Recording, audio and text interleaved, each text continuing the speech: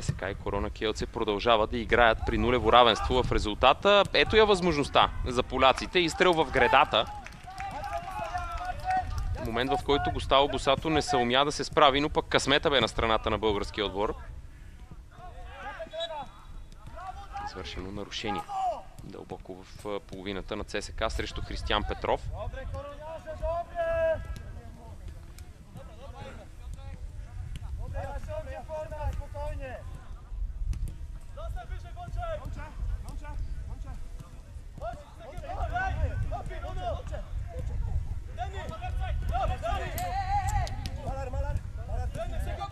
Начинът по който топката бе изпратена към вратата на ЦСК.